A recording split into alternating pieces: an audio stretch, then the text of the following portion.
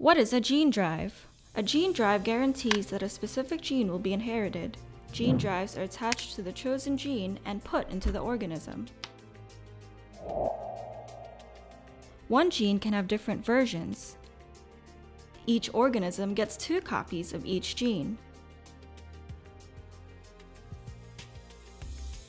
Without a gene drive, when parents with different versions of a gene pass on their DNA, each version gets inherited by only half of the offspring. With a gene drive, when parents with different versions of a gene pass on their DNA, essentially all offspring will inherit the gene with the drive, generation after generation after generation. A gene drive contains instructions for a molecular tool that targets other versions of the chosen gene. The tool scans the organism's DNA and looks for other versions of the gene. Once it finds another version, the tool cuts it out.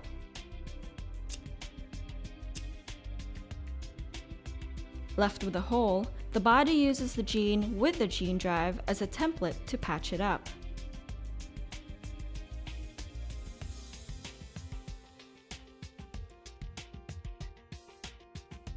The organism now has two copies to pass on to the next generation.